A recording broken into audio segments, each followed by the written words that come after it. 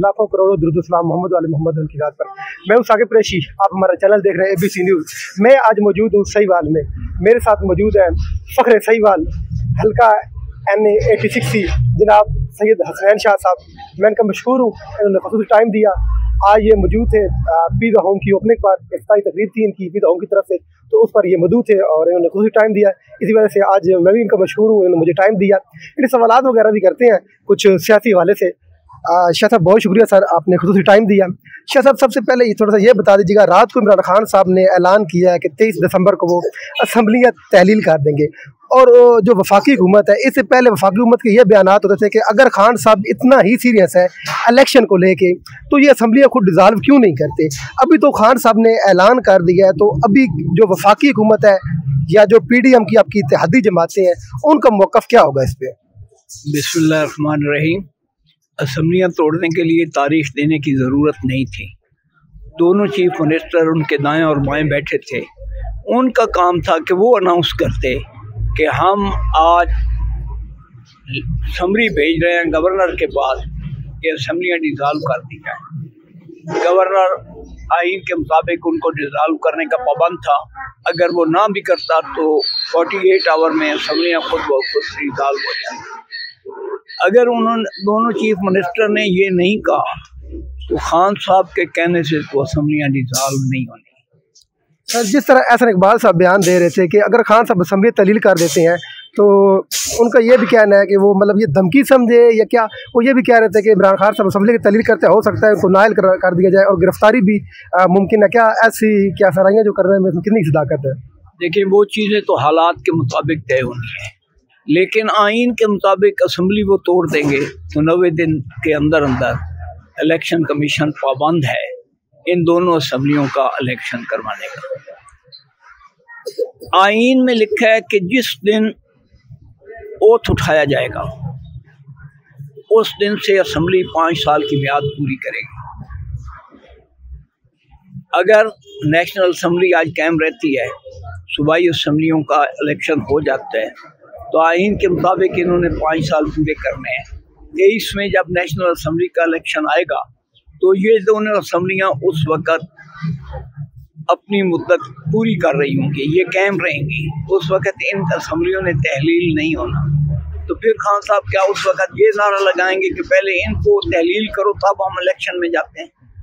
ये सारा एक पॉलिटिकल ड्रामा है और अपनी वो फेस सेविंग चाहते हैं, जो मेरे ख्याल में उनको मिलने का वक्त गुजर गया है। शाह साहब पीडीएम जो है जी इमरान खान साहब ने तेईस दिसंबर का ऐलान किया। इससे पहले क्या जो पीडीएम की जमातें ये अदम अतमाद ला सकती हैं? ला सकती हैं उन, उनका भी आईनी राइट है। अगर इनके खिलाफ अदम अतमाद वो पेश करना चाहते हैं तो एनी टाइम वो रेकोजिशन जमा करवा सकते हैं।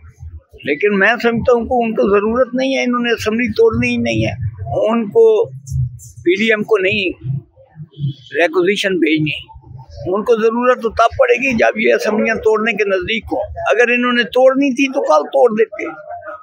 अगर कल नहीं तोड़ी तेईस की तारीख दी है तो इसका मतलब है कि वो असम्बलियाँ भी तोड़ने नहीं जा रहे हैं। यानी आपके ख्याल में इमरान खान साहब ये कह रहे हैं कि यार मैं असम्बलियाँ तोड़ने जा रहा हूँ मुझे रोक लो मैं तोड़ने जा रहा हूँ।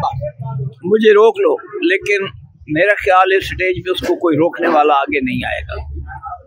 हर की ख्वाहिश है कि वो असम्बलियाँ तोड़ के आए मैदान में। सर जो अभी मौजूदा सियासी सूरत हाल बनी हुई है मुल्क की सूरत हाल बनी हुई है क्या ये एक टेबल पे इमरान खान साहब बैठ के और जो पी डी एम की जमातें हैं ये टेबल पे बैठ के मुजाकर के थ्रू क्या मुल्क को इस जो ये बेजाल ये जो सूरत हाल बनी हुई है इस कैफियत से निकाल के क्या ये, ये नहीं मुल्क के लिए कर सके? देखें जी पॉलिटिशियन का तो काम ही डायलाग होता है। पॉलिटिशियन ने बंदूक नहीं उठानी होती। उसका काम होता है डायलाग करना। असम्बली के अंदर मियाँ शबाज शरीफ जब लीडर ऑफ़ अपोजिशन थे तो इसको बार बार कहते रहे कि चार्टर ऑफ़ इकोनॉमी कर लें। लेकिन उसने इस बात पे तवज्जो नहीं दी। अब भी हमें तो कोई इतराज़ नहीं।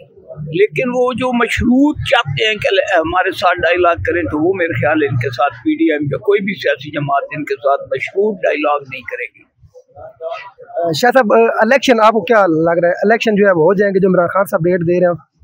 इन इलेक्शन असम्बली बारह अगस्त बीस सौ तेईस को डिजॉल्व होगी। मुद्दत पूरी होगी। मुद्दत पूरी होगी और आगे साठ दिन के अंदर इलेक्शन उससे पहले मुझे तो इलेक्शन होते नज़र नहीं आता। अगर ये असम्बली तहलील हो जाती है तेईस दिसंबर खान साहब असम्बली तहलील कर देते हैं तो ये भी कहा जा रहा है कि कोई सियासी इमरजेंसी लगा जा सकती है मुल्क मुल्क में कोई ऐसी चीज़ें होने जा रही हैं। अभी तक ऐसी कोई चीज़ गौर नहीं है। हम तो आइन के पाबंद हैं और आइन जो रास्ता देगा उसके मुताबिक उस पर अमल करेंगे सर मुल्क की मामला देखते हुए क्या ये नहीं लगता कि बैठ के इलेक्शन हो जाए तो ये जो कैफियत बनी हुई से कम अज कम निकल जाए?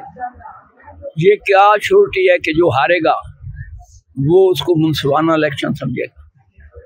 क्या इसकी छोटी आप दे सकते हैं? अगर इलेक्शन हो भी जाए कल इमरान खान वज़ीर आलम मान जाए तो वो तो कहेंगे कि ठीक इलेक्शन हुआ है। अगर वो इलेक्शन हार जाते हैं तो उन्होंने इलेक्शन का रिज़ल्ट तस्लीम करना है। सर, अभी जो मकबूलियत नज़र आ रही है, जिस तरह खान साहब की पॉपुलैरिटी आई है। अगर ये भी जो इमरान खान साहब ने साढ़े तीन साल दौर गुजारा है, उसमें यही था कि अगर इमरान खान साहब कंटिन्यू करते, शायद वो अपनी मियाँ वाली सीट भी हार जाते। ये जो पी डी एम ये जो रजीम चेंज हुआ, ये सिलसिला हुआ, उसके बाद जिस तरह पी डी एम की हुकूमत आ गई, मियाँ शबाज शरीफ जब वजी अजम बन गए अभी हालत ये है कि क्या जो मौजूदा पी डी एम की जमातें हैं, क्या ये कतरा रही हैं, डर रही हैं इलेक्शन में जाने के लिए ग्राउंड में वो पोजिशन नहीं है, खाली खान साहब जो है, वो, वही इलेक्शन में है। बिल्कुल नहीं डर रही।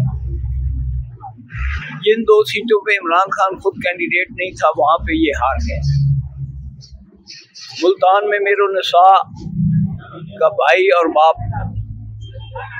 रूलर हैं, लेकिन मेरो नसा इलेक्शन हार गई। गिलानी का बेटा जीत गया। मूसा गिलानी वहाँ पे एम एन ए और भी कई जगहों पे जहाँ पे उसने खुद इलेक्शन नहीं लड़ा, वो विन नहीं कर सके।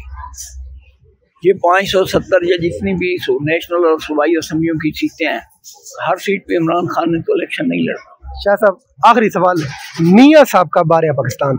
इनशाला इलेक्शन से पहले पाकिस्तान आएँगे। सर वो तो हम दो हर दो महीने बाद अभी कह रहे थे कि दिसंबर में आ जाएँगे फिर ये ये मियाँ साहब ने एक भी डेट नहीं दी। ये आप और मैं अपने तजिए के मुताबिक अपने ख्याल के मुताबिक डेटें देते हैं। जिस दिन मियाँ साहब डेट देंगे इन उस डेट पे वो आए। सर आपको नहीं लगता मियाँ साहब लीडर है पॉपुलर लीडर है ठीक है तीन दफ़ा वजी अजम बने। आपको नहीं लगता कि अभी उनकी ज़रूरत है उनको आना चाहिए कौम को लीड करना चाहिए अपने वर्करों को लीड करना चाहिए? सियासतदान अपने फैसले करने में खुद मुख्तार होता है। जिस वक्त उनको महसूस होगी कि मुल्क में मेरी ज़रूरत है इन एक दिन भी वो लेट नहीं होंगे उसी वक्त तशरीफ़ ले आएँगे। और अपनी जमात की क्यादत भी करेंगे। पाकिस्तानी सियासत में भी अपना रोल अदा करेंगे। जी बहुत शुक्रिया। मेरे साथ मौजूद थे सैयद जावेद हसनैन शाह साहब। मैं इनका मशहूर हूँ M N N eighty six से। मैं इनका मशहूर हूँ इन्होंने खुद टाइम दिया है। इन अगले हफ़्ते फिर आपसे मुलाकात होगी एक नए मेहमान के साथ। तब तक के लिए अल्लाह हाफिज़।